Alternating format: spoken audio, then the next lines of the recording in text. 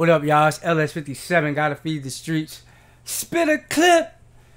So with all the excitement that was dropped yesterday, especially with the news of this trailer, even more news just keeps dropping like as, as the day goes by.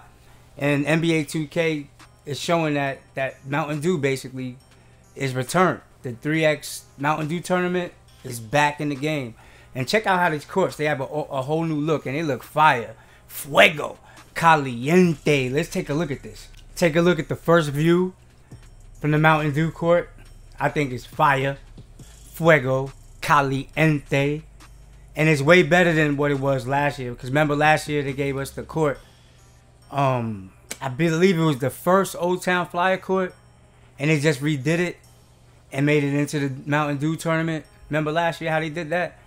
And it's funny because everybody was calling 2K lazy, but we didn't know that they had to be lazy, or made it seem like they was lazy because of this. Like it actually took them a whole game cycle to plug all this new stuff in the game. So it's very it's lit, no doubt, man. It's hot, man. This is fire, fuego, caliente. This is definitely lit. Ain't no no other word to describe this.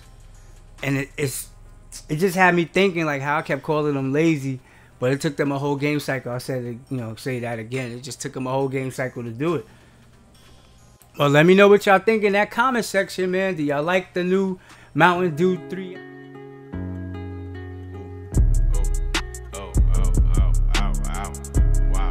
Wow.